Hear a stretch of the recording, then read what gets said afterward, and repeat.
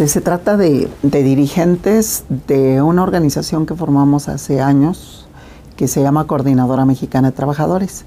Está integrada por la Federación eh, de Trabajadores al Servicio de Estado de los Estados y los municipios y por otros organismos de la Confederación Obrera Revolucionaria, está este, el Consejo Nacional de Trabajadores, son varias organizaciones que, este, que son principalmente sindicatos de empresas en el, del Distrito Federal, que aglutina alrededor de 200 mil trabajadores.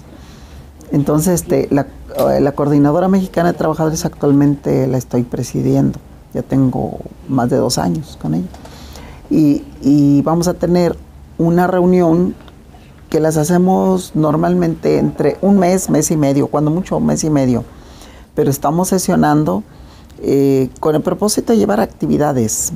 Hemos emitido pronunciamientos.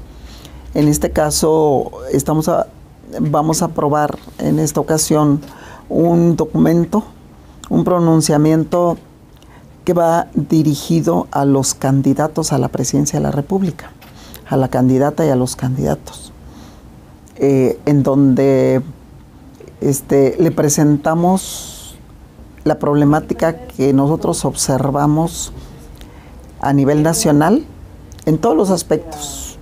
Ahí se habla sobre la delincuencia, sobre este, el poder adquisitivo del salario, sobre la delincuencia organizada, sobre, eh, sobre las deficiencias en el campo, la falta de apoyo al campo, la baja calidad de la educación, en todos los aspectos.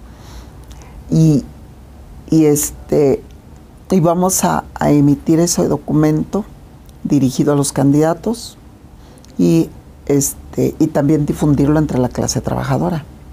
Es importante que los trabajadores este, tengan conciencia de lo que está pasando y que colaboremos con propuestas para este, el país que deseamos tener.